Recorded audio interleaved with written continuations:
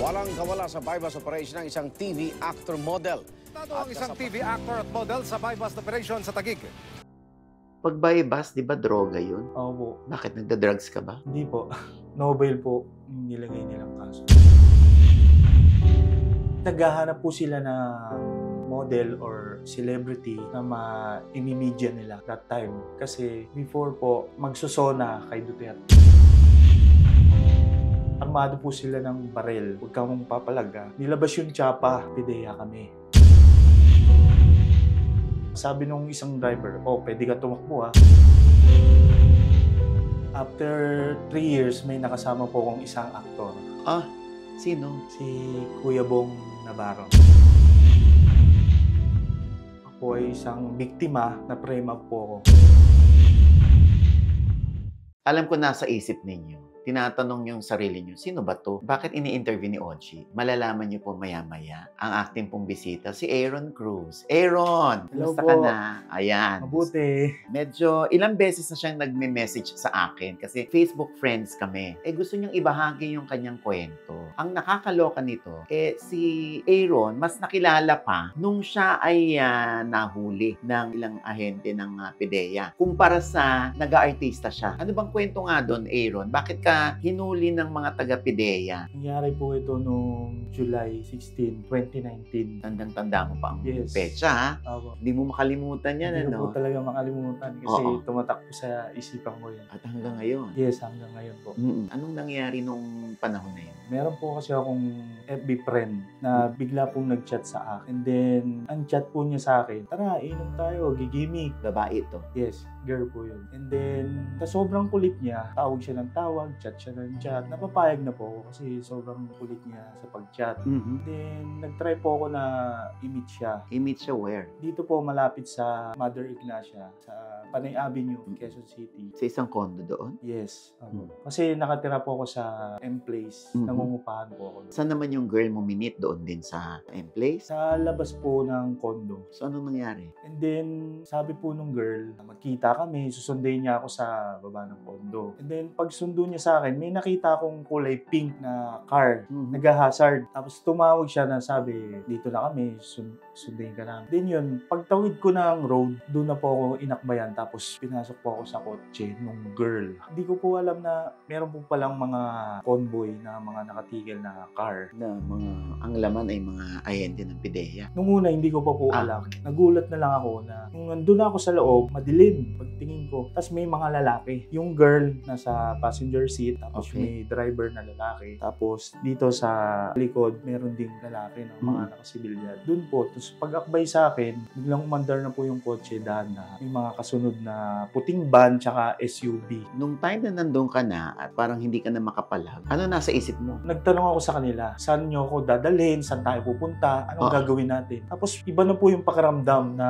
nandun. Kasi wala po silang kibo eh. Tapos kinakabahan na po ako tapos pinagpapawisan ng malamig. Tapos iba po yung feeling eh nung nasa loob ako ng car. And then nung pag-akbay sa akin, sabi niya, huwag ka mong papalaga. Nilabas yung tsapa, pideya kami. Doon na po nag-trigger na sobrang, hindi ko po mapaliwanag yung nararamdaman ko na. Oo. Tapos, armado po sila ng barel. Sabi nung isang driver, oh, pwede ka tumakbo ha. Nasa isip ko, ba't ako tatakbo? Wala namang kasalanan. Ayun po, tapos kinuha nila yung phone ko to check, then yung iba ko pong gamit. Kinuha nila na ibinilik din sa'yo. Binalik din po, pero para tawagan ko po yung parents ko. Mm-mm. Hanggang sa nagpapunta po kami ng EDSA, nag-U-turn, then going to Pinyahan. Doon po pala yung office ng PDEA. Nag-stop po kami doon. In a few minutes, tapos nag-U-turn. Mayroon pong mga sumakay na ibang person, mga Mhm. lalaki. Tapos po sa puting van, tsaka sa SUV may pumasok. Tapos convoy po ulit, going to EDSA, papuntang Mm-mm. BGC, Taguig po. Para? Hindi ko po alam na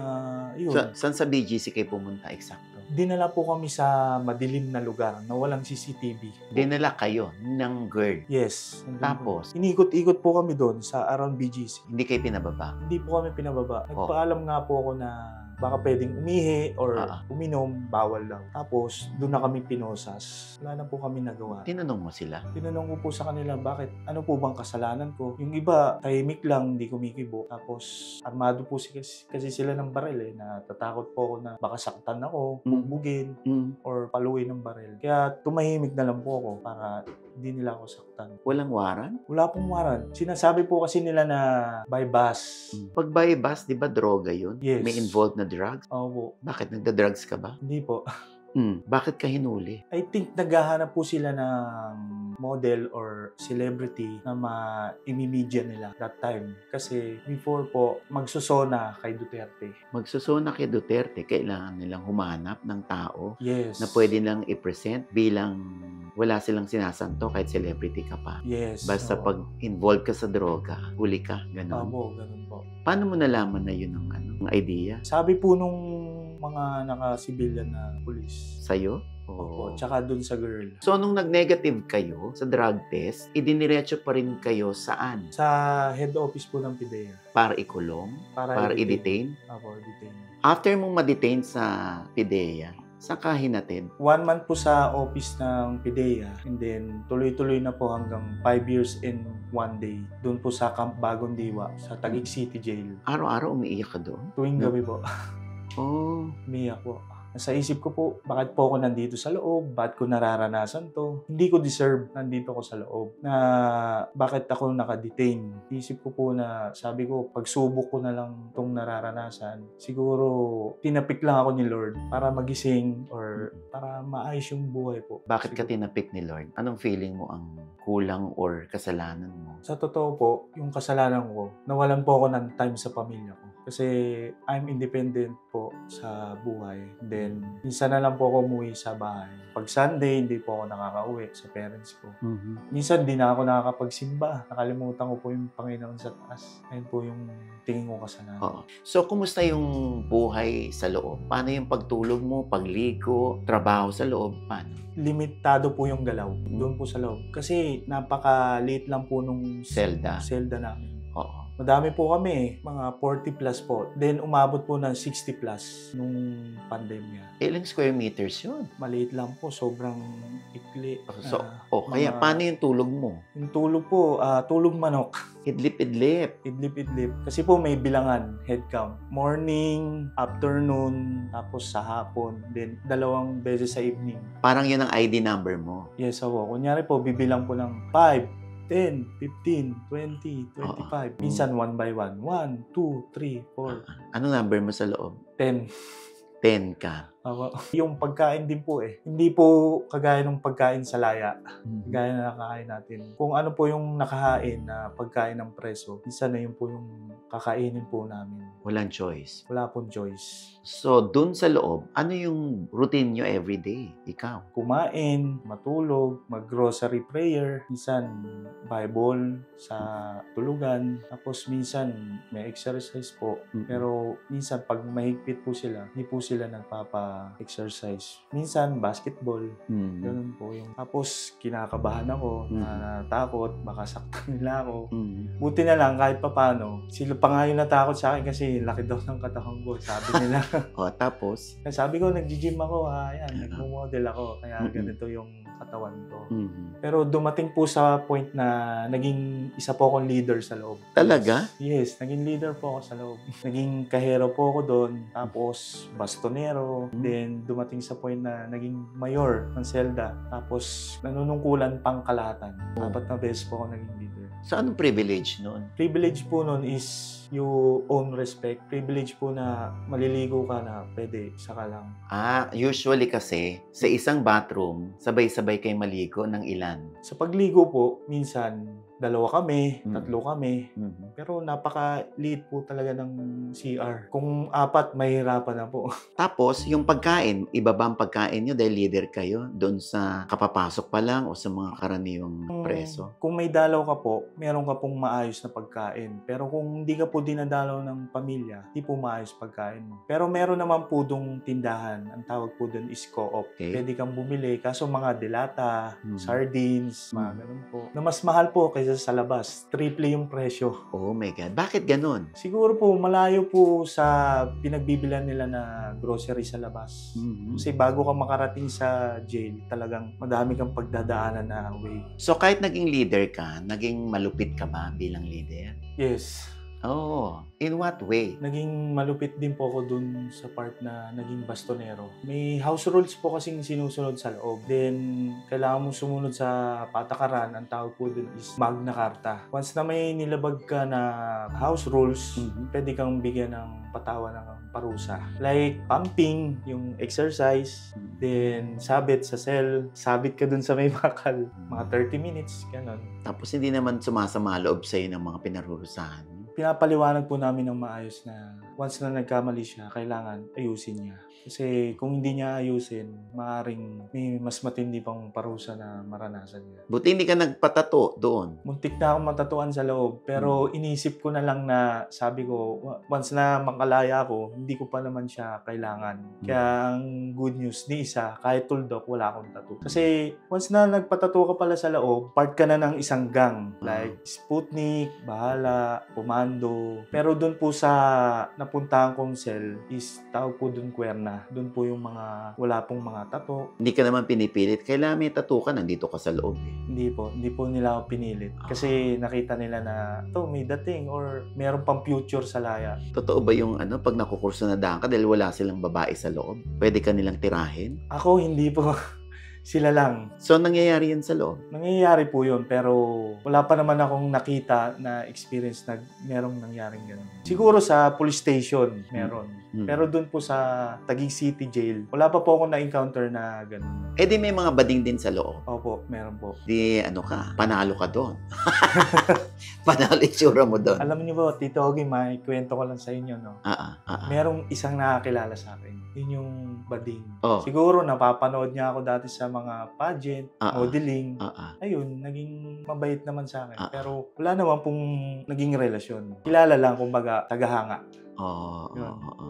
Tapos, After three years, may nakasama po akong isang aktor. isang aktor pumasok sa loob. Ako po, Ah, sino? si Kuya Bong Navarro. Oo, oo nga pala, tagig. So, kumusta yung encounter mo o yung friendship mo with Vong sa loob? Nung una, pinakilala po ako kay Bong Navarro. Mhm. Tapos nagpakilala po ako. Sabi ko, Kuya Bong, naalala mo ba ako? Ako yung sa Showtime. Gandang lalaki, bida man. Ah. Sumali ako doon. Grand Ah. finalist pa nga ako doon. Eh. Nung una, hindi niya po ako mamukaan. Kasi that time, long hair po ako eh. Ah. Pahaba ako ng buhok. Tapos nung nagkwentuhan na kami, sabi ko, Kuya Bong, in-interview mo pa nga ako eh. Di ba sa stage ng Showtime? Tapos, di talaga siya naniniwala. Tapos, nung pinakita ko yung picture ko, kasi sabi ko, Kuya Bong, kung di ka naniniwala, bukas, dadalaw yung mother ko, yung parents ko. Sabi ko, dalhin yung picture natin. Kinabukasan, dumalo po yung parents ko, yung mom ko, nanay ko po. Dalaw po yung picture. Pagkakita na pagkakita, pinakita ko po sa kanya yung picture ko sa Showtime Ah. na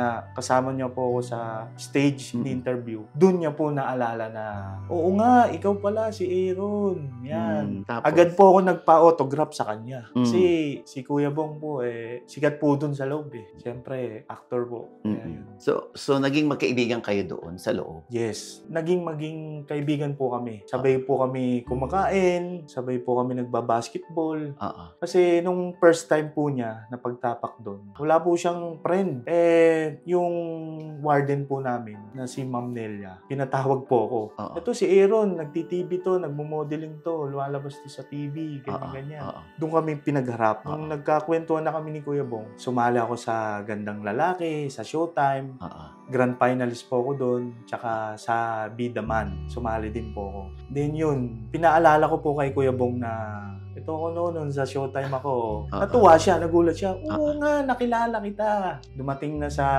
point na na-remember niya po niya yung nagkasama kami sa Oo. showtime. Kumusta si Vong sa loob? Paano siya makipagkapwa-tao? Meron po siyang mga natulungan na walang-wala, hindi dinadalaw. Kaya napakabuti niya pong tao. Kagaya po ng matulungan niya, mabigyan niya ng pagkain. Kasi po wala ang dalaw, hindi dinadalaw yung preso. Tapos Mm. syempre, kung anong pong meron siya or kinakain niya na pagkain laya, sinishare din po niya sa kagaya namin sa iba po. Eh di lahat yung pinapakain niya. Yes, ang dami po namin eh. Hindi lang po pagkain yung naitutulong sa amin ni Kuya Bong Navarro. Pati na rin po sa mga inmate kagaya ng ayuda. Kagaya namin, minsan po di kami dinadalaw mga toiletries, shampoo, sabon, araw-araw namin na ginagamit like toothpaste. Ayun po yung naibibigay na tulong po sa amin. Minsan po, financial help din po ang naitutulong ni Kuya Bong. Lalo na yung mga may sakit at mga walang-wala, lalo na dun sa mga walang dalaw. Kumusta yung routine nyo doon ni Vong nung nasa loob kayo? Yung araw-araw niya, kumusta? Ngayon, nagkukwentuhan kami tungkol sa kaso, kung kailan lalaya. Bukod doon, syempre, yung kung ano ng itsura ng labas, kung ano na ba yung nangyari. And then, yung ano po, kakainin namin, ganyan. Mm. Saka yung maglalaro na kami ng basketball. Ano yung hindi mo makakalimutan kay Vong habang kayo'y nasa loob? Yung hindi ko po makakalimutan is yung niyakap po niya ako bago siya lumaya. Sabi niya po sa akin, eh Ron, mangiyak-ngiyak siya eh. Parang tears of joy. Answer prayer na nakalaya siya. Niyakap niya ako ng mahigpit. Parang, ah, eto na, dream come true. Sabi niya sa akin na, eh Ron, kumapit ka lang. Huwag mo mawala yung hope, tsaka yung faith. Maniwala ka, ikaw na ang next na lalaya. Ayun po, natupad. Ako na po yung next na nakalaya. Oo. Sobrang sarap po sa pakiramdam. Di po ako paniwala. Mm. Kahit ito po, yung na-experience ko ngayon dito, parang nananaginip lang po ako ngayon. Kasi naninibago po ako eh. Kasi dun sa loob, wala pong mga ganito. Lagi lang po kami nakadilaw. Pero ngayon, kahit ano po yung suoting ko ngayon, pwede. Doon kasi sa loob, puro dilaw, makikita mo eh. So, nung nabalitaan mo na na si Vong ay lalayan, anong naging initial reaction mo? At nung huling araw niya doon at aalis na siya? Nung una, nalungkot po ako kasi mawalan na po ako ng kakampi na kaibigan ko po sa loob. Pero bandang uli, sumaya na lang po ako kasi yung kaibigan ko, makakasama niya na yung pamilya niya sa labas at makakabalik na din po siya sa showbiz. So, nagkita na kayo ni Vong nung nakalaya ka? Hindi pa po. Pero sa video call, Ah, nag-video call kayo. Oo. Anong naging kumustahan niyo doon? tuwan-tuwa siya eh. Oo. A burger smile eh. Talagang sabi ko sa'yo eh, maniwala ka lang eh. Oo, oo, Magdasal ka sa Panginoon. oo, Kay Lord God Creator, Yahweh. oo. makakalaya ka din. Which Oo. is, naging totoo nga. Natupad po yung pangarap ko na makalaya. Bakit ka nakalaya? Nakalaya po ako kasi dumating po sa point na nag-promulgation, yung judgment day na tinatawag. Nanalo po ako sa kaso. Acquitted ang tawag po doon. Acquitted ka. Yes. So, nung binasahan na kayo ng resolusyon o ng desisyon at narinig mong acquitted ka, Ako, anong naging initial reaction mo? umayak po? Parang nanalo po ako sa loto. Kasi sa sobrang hirap po sa loob, yung mga dinaras ko po na pagsubok, problema, hirap, sakit, parang answer prayer po talaga na makalaya po ako. Kaya acquitted. Nag-google ka ba paglabas mo? Nag-google po ako paglabas ko. Tapos po, sinearch ko po yung mga balibalita noon. Yung nabasa ko po doon, isang model, TV actor, huli sa bypass operation. Gusto kong i-correct doon na wala pong katotohanan ni isa. Ginawa lang po nila yun kasi malapit na po noon magsona para bumango po sila. Ito pong nangyari na naranasan ko po sa loob. Kagaya ko po na nanalo po ako sa kaso, acquitted po na wala po akong ni isang bad record sa barangay, sa pulis, sa NBI. No record on file. Usually, yung iba, gusto na nilang kalimutan ito at ah, gusto nila itong burahin sa kanilang buhay kasi ayaw na nga nilang maalala. And they want to move on, to move forward. Pero ikaw, gusto mong ibahagi sa kanila. So, maaalala na naman nila yung mga panahong nakakulong ka. Bakit gusto mong ibahagi pa? Bakit hindi ikaw yung tipong ayoko nang maalala ito kaya mag-move forward na ako? Kasi po, handa po akong humarap sa tao na proud po ako na nanalo po ako sa kaso, acquitted, para magbigay ng motivation sa mga tao at kumbaga kung anong pagsubok yung pagdaanan nyo, huwag kang susuko. Malalampasan mo din yan. Kumbaga ako yung tao na matibay na hindi mo kailangan sukuhan yung problemang kinakaharap mo ngayon. Isipin nyo, 5 years in one day nalagpasan ko. Lalo na ngayon, eh, kung anong pa pong dumaan na pagsubok sa akin, talagang kayang-kaya ko na Mm-mm. malagpasan. Anong na-realize mo sa buhay? Marami po, kagaya ng hindi po lahat ng mga taong nasa paligid mo is kakaibiganin mo. Kasi hindi po lahat ng tao nasa paligid mo is totoo. Pipiliin mo lang po. Tsaka hindi po lahat ng friend nyo sa Facebook pag nag-chat is totoo sa'yo. Hindi mo alam, entrap din pala o ma-frame up ka. Hindi mo alam, yung pala yung may pakay sa'yo, sa'yo na hindi maganda. Kaya gusto ko po iparating sa inyo na piliin nyo po, wag po kayo basta-basta magtiwala sa mga tao. Paglaya mo, anong initial reaction ng family? Sobrang saya, mangiyak-iyak, tears of joy kasi ito po yung matagal namin pinagdarasal na ng Mhm. mga ilang taon na. Kasi pinagdarasal po namin to sa Panginoon na sana makasama ko na yung pamilya ko. Answer prayer na natupad po. Mm-mm. makalaya. Tapos yung pamilya ko po, unang-una ko pong ginawa is niyakap ko po. Tapos mangyak-yak po talaga ako. Hindi po ako makapaniwala eh, na acquitted po ako, nanalo po ako sa kaso. Kaya nung sabi po ng parents ko, o oh, iyan, paglaya mo ngayon, o oh, dami ka na natutunan. Piliin mo na yung mga makakasama mo. Di lahat ng sa paligid mo, totoo. Kaya lungluha po talaga ako nun. Talagang parang akong nanalo sa loto. As in na niyakap ko po sila lahat habang lumulu- lumuluha po ako nun. Aaron, anong natutunan mo sa loob? Ang natutunan ko po sa loob is mapalapit sa Panginoon. Palagi po kami nagro-rosary, darasal. Kagaya po nito, baon ko po lagi. Kasi ito po yung tanging sandalan ko, eh, yung Panginoon. Dati po, itong rosary, ito po galing po mismo sa loob. Dati po yung rosary, hindi, hindi ko po alam gamitin eh. Pero nung nandun po ako sa loob, natutunan ko po kung paano gamitin. Mga mystery. Apo, mystery. Paikot po yan Oo. Mag start po dito pag ganun po. Kada istasyon, doon ko po natutunan. Kasi po, once na humiling ka sa Panginoon, kumapit ka lang, huwag ka lang makakalimot, tutuparin niya yung hinihiling mo. Kagaya po nung makalaya po makasama ko yung pamilya ko. Anong message mo sa family? Ang mga sasabi ko po sa pamilya ko ay sobrang thankful po ako. Nagpapasalamat po ako sa nanay tatay ko kasi hindi po ako iniwan from day one. Tapos po sa mga kapatid ko kasi dugot pawis po talaga yung tinulong po nila sa akin eh. Hindi po nila ako ginudge or kinalimutan, pinabayaan. Tinulungan po nila ako sa abot nilang makakaya. Kaya masasabi ko po, mahal na mahal ko po kayo, hindi ko po kayo makakalimutan. At maraming salamat sa mga taong nagdasal, lalo yung parents ko po na hindi ako iniwan. Thank you po sa mga kapamilya ko, lalo dyan sa BGMP Taguig City Jail. Kasi sila po yung mga taong patuloy nagdarasal. So, dumadalaw ka pa rin ba sa kanila? Sa mga kaibigan mo sa loob? Hindi pa po ako nakadalaw kasi bawal pa daw po, one month pa daw po kung bago ako makadalaw. Kailan ka ba nakalaya? July 17. Oh, Bago lang man. po. Nakulong po ako July 16, 2019. Nakalaya po ako July 17, 2024. Five years and one day. Pero dadalaw ka? After one month, dadalaw po ako sa BGMP Taguig City Jail.